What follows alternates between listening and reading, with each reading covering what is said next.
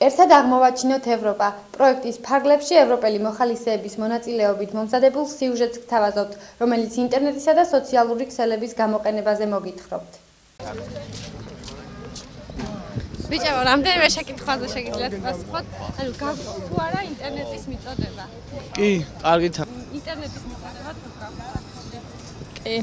რავი, არ მაქვს შესაძლებლობა მაგის რომ ინტერნეტი მქონდეს. გაგვთ თუ არა სახში ინტერნეტის მიწოდება? დიახ, მაქვს. რამე იყენებთ ინტერნეტს? აა, ბევრი მიზნით. არა მარტო იმით, რომ ბავშვებს და კონტაქტო Facebook-ში, არამედ აა, ნახულობ სკოლაშიც მაქვს ხოლმე დავალებები, რაც საერთოდ მარტო ინტერნეტში ვნახავ და ვიწერ ხოლმე რაღაცებს და შემდეგ არ ფილმებსაც ვუყურებ, საინტერესო ინფორმაციებსაც ვნახულობ და მეგობრებსაც ვეკონტაქტებ. ყველაფრისთვის ვიყენებ იურისტი ვარ, კანონებს ვიღებ იქედან და სოციალური ქსელი თუ გაქვს და ფიქრობთ რომ მასზე დამოკიდებული ხარ? სოციალური ქსელი, ну ყველაფერი აქვს ჩემს ქალიშვილს. თქვენ არა. მე რა თქმა უნდა თუ დამჭირდება მისი მეშვეობით ვიყენებ. სოციალურ ქსელებს თუ იყენებ და Facebook-ი მაგალითად. დამოკიდებული ხარ მასზე როგორ ფიქრობ? კი. დამოკიდებული არ ვარ ნამდვილად, მაგრამ ისე ვიყენებ. დამოკიდებული არ ვარ. და ინტერნეტის garaშე როგორ წარმოგიდგენია ცხოვრება? ძალიან კარგად. არ გაგიჭირდება. არა. როგორ წარმოგიდგენია ცხოვრება ინტერნეტის garaშე? ჩვეულებრივად. ბევრი საინტერესო რამეა ინტერნეტის გარდა. რავი, ძალიან ცუდი იქნება ალბათ. ყველაფერის ნახულობთ, ძალიან კაია.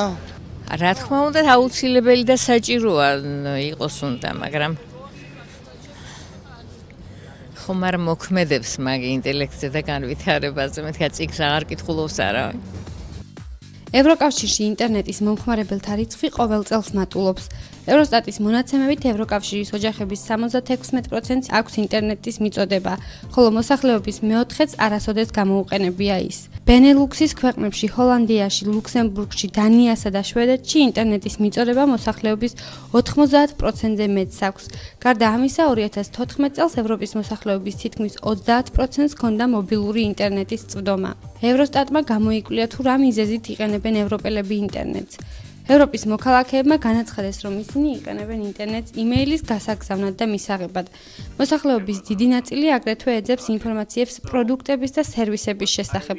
მოსახლეობის დიდი ნაწილი, რომლებიც სალსადამნებენ ახალამებს ინტერნეტის გამოყენებით, აჩვენა ლიტვაში და ესტონეთში. 2014 წლის მონაცემებით ევროკავშირის მოქალაქეები დიდი ენთუზიაზმით იყენებენ ინტერნეტს ონლაინ შოპინგისთვის. ევროპელების დაახლოებით 60%-მა შეისყიდა ნივთები ვებგვერდის გამოყენებით და ფინელების სიამოვნებით იყენებენ ინტერნეტს საბანკო საქმიანობისთვის და მოგზაურობის დასაგეგმად. ადამიანები იყენებენ ინტერნეტს ასევე სოციალური მედიისთვის. მაგალითად, პორტუგალიელების 75% ამ დანიშნულებით მოიხმარს ინტერნეტს. ინტერნეტის გამოყენებამ შეიძლება გამოიწვიოს ასევე პრობლემებიც, მაგალითად, შეიძლება იყოს მსხვერპლი ეგრეთ წოდებული hate speech-ი, რაც ნიშნავს აგრესიულ და ვულგარულ კომენტარებს ერთი კონკრეტული ადამიანის ან ჯგუფის წინააღმდეგ. ამ ფენომენთან დაკავშირებით ევროსაბჭომ 2 წლის წინ შეიმუშავა კამპანია No Hate Speech Movement, რომელიც დიზაინირებულია რომ შეამციროს გამოხატულების თავისუფლება და ყველა იყოს რთილობიანი ერთმანეთის მიმართ ინტერნეტ სივრცეში. სტატისტიკის მიხედვით საქართველოში ინტერნეტის მომხმარებელთა რიცხვი ბოლო წლებში საგრძნობლად იზრდება.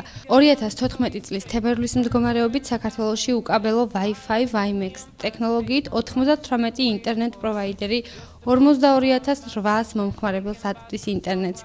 ამ ეტაპზე მომხმარებლებს მომსახურებას 10-ზე მეტი ინტერნეტ პროვაიდერი სთავაზობს. ინტერნეტის მომსახურების ფასები შემცირდა, სიჩქარე კი გაიზარდა.